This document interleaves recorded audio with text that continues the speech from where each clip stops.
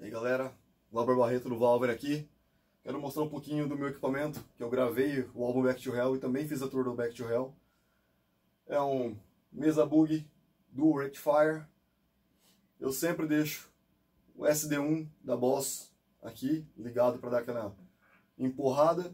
E uso também o Chorus MXR e o afinador, que não pode faltar, né? Esse aqui é o esquema. Vou mostrar um pouquinho para vocês aqui do som do, do.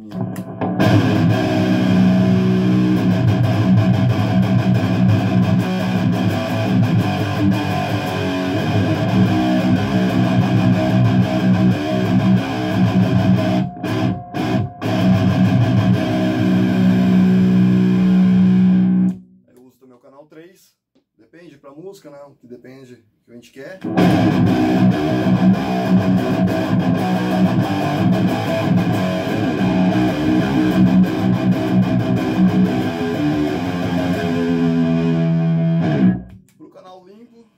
São poucas as músicas que a gente usa alguma coisa no canal limpo, né?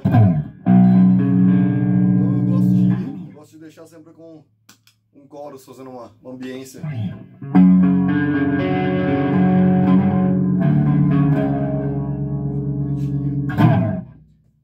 Às vezes eu desligo e às vezes não, o SD1. Depende do que eu quero fazer. Se eu quero que sou mais sujo ou mais limpo.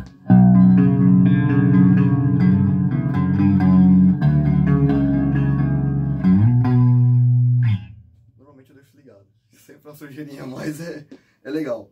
E pro álbum novo, a gente também tem algumas, algumas novidades, né? A gente está colocando umas guitarras em Si, outras em Mi bemol. Essa daqui tá em Si, a Gibson, e faz alguma diferença, né? Tem sempre um pouquinho de, de mais maldade nesse rolê. Então eu vou fazer algum riffzinho aqui do, de alguma coisa nova aí e tal. Vamos ver aqui.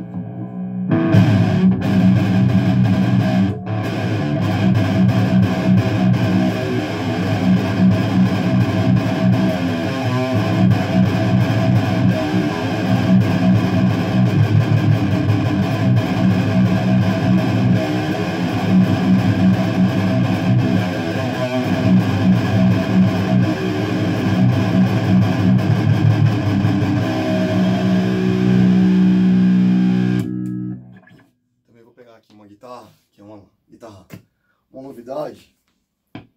Acho que eu sou o primeiro a fazer um vídeo com ela. Essa guitarra é do senhor Rodrigo Torres, que vos filma nesse momento. Uh! Essa guitarra tá em Mi bemol. É uma Pacer Rich, que tá cheia de sangue do Rodrigo aqui, ó. Tomara que você não tenha doença, Rodrigo. Contar aqui. Reza a lenda aí que ele realmente meteu um pouco de sangue dele nessa tinta aqui. É isso mesmo, Rodrigo? É, pô. Pra que fazer isso, cara? Não podia ter matado um frango, alguma coisa assim? Não, mano. O bagulho é Não. sacrifício. Entendi, entendi. Essa guitarra tá em Mi bemol. Vou fazer alguns riffzinhos pra vocês verem como que soa aqui no amp. Tal.